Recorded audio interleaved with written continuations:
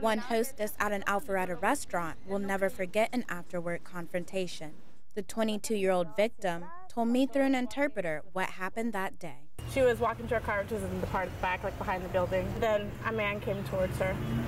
After the man in this photo verbally harassed the victim, she said she had had enough. Then she said kind of like a vulgar word to him, and he got mad and hit her in the face. And he pushed her, and he was running away. She wanted to run after him, you know, tell him to come back and all that. But then she looked down and she was bleeding because he had stabbed her.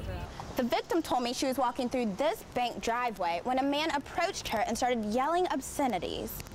But what is really surprising in this incident is that it happened in broad daylight. This attack itself was at 5:30 in the afternoon. It's a heavily shopped district in our city, and we absolutely uh, just don't understand. We don't have any witnesses or anybody to come forward with any information. But police are hoping this sketch will help them find the suspect. How confident are you? If you have any information about what happened in this parking lot, call Alpharetta Police. Reporting from Alpharetta, I'm Erin Rogers.